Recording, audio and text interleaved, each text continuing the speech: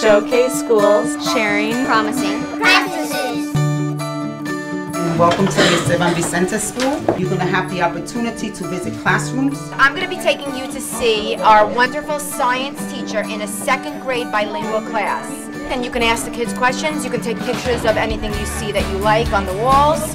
The Showcase program is a great opportunity for educators to spend most of a day visiting classrooms and have some food for thought to bring back to your own situation. And I was glaring at her and I said, Give me back my toy. How is Michaela feeling at that moment?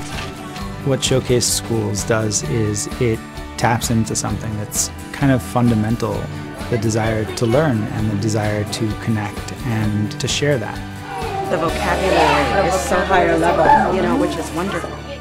When you walk in the classroom, you will see student engagement. The Showcase Day usually begins with the school team making a presentation about the journey that they've taken, not to say we are masters of this practice, but we're going to share with you the needs that we recognized, the questions we asked ourselves, and the choices we made.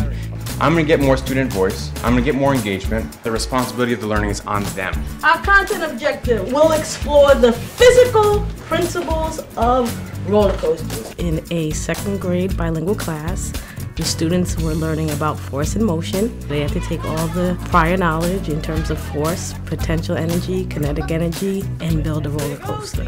Uh, is he right? Yeah. Do we agree? Yeah. Can he do a hot dance? Yeah. This was a bilingual class and I was very impressed. The vocabulary, the engagement, it was so hands-on and all the children were taking equal participation in the activity. They were afraid that the foreigners would not want to buy their products and goods if they raised the taxes because they weren't really that well off like the North. They were able to really share deeper critical thought and phrase their answers fully and wholly using evidence from the text, which is taught through a love of reading that has been really cultivated here. Students gain a skill that will serve them for their lifetime to be confident and articulate and to be able to question why things are the way that they are. So basically, if they didn't like what the federal government is doing, they could just separate away from it. That's the most powerful thing we could ever teach them. So I would want participants to see that it's possible. The fact that kids are writing that much in a math classroom is just so inspiring. Every kid buys into the culture. When you visit another school, you have a chance to really see theory being put into practice. When you see something and you see it working with the students, you immediately want to take that either back into your classroom or back into your school. What you get out of this day is really important to us, so we're going to be asking you for feedback. It was content rich, vocabulary driven. Yeah, I mean, Who better to learn from than a colleague? We're stronger when we pool our resources together than, than if we stand alone.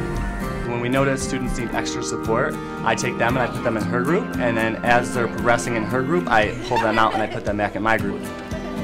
It's a paradigm shift where we move from competition and isolation to collaboration and cooperation among educators.